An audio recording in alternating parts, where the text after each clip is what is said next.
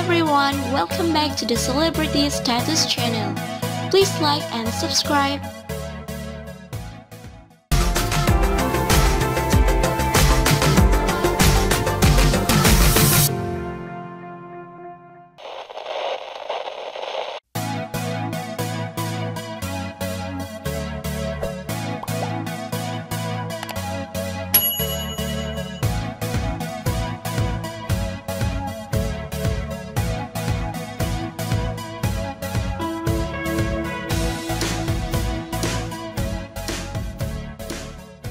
Little People, Big World star Matt Roloff is being slammed by fans for his a whole behavior to ex-wife Amy in the latest episode of their hit TLC series. The reality star got into a heated argument with his spouse of nearly 30 years over a wall he built to divide Roloff farm into two separate properties after their divorce. Following their 2016 breakup, Amy and Matt equally split their assets, which included the family farm, after she accepted a buyout from her ex. An eager Matt called the project symbolic as the construction pieces arrived to their land. This is a very exciting day for me. You can't imagine how long I've waited to put this fence up.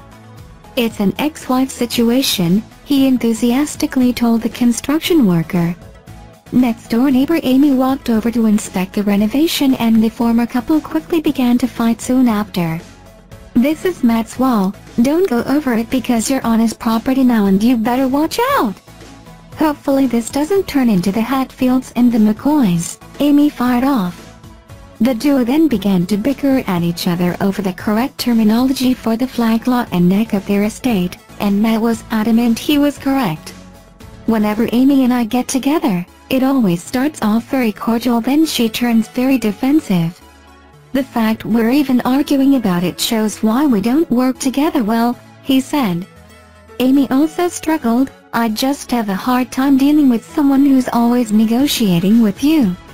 I think not being in a relationship with Matt, I'm learning how to find my voice and just be more confident, she said. Out with the old and in with the new and that is what this wall represents, Matt concluded the fight. Fans blasted the TLC star for the way he spoke to his ex-wife. A Twitter user asked, Aho Matt, Amy is moving away why do you need a wall? Matt is making it very hard to keep liking him. The wall is an Aho move, someone wrote. Another upset fan said, I don't like Matt Roloff. He's a manipulator and needs constant acknowledgement and praise. He really likes to have his ego stroked and he found the perfect woman to do it. Matt is so nasty to Amy. Hopefully he doesn't act this way towards her in front of the grandchildren, one viewer mentioned. In tonight's LPBW episode, Amy revealed she put an offer on a house that soon after got approved. The mother of four moved off Roloff Farms in December 2019 after 30 years on the property.